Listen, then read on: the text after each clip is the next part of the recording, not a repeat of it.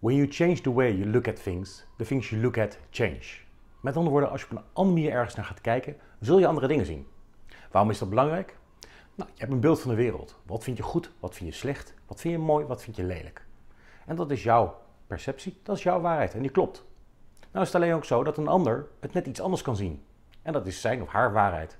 En wat heb jij daaraan? Nou, misschien zit daar wel aantrekkelijke inzichten in, die ook heel handig voor jou zouden kunnen zijn. Maar ja, zolang je het niet met elkaar eens bent, is dat lastig. Totdat je zegt, ja maar we kunnen allebei een mening hebben die, waar we het niet mee eens zijn en toch ook allebei gelijk hebben. We zijn het niet met elkaar eens en toch hebben we allebei gelijk. Kan dat? Ja.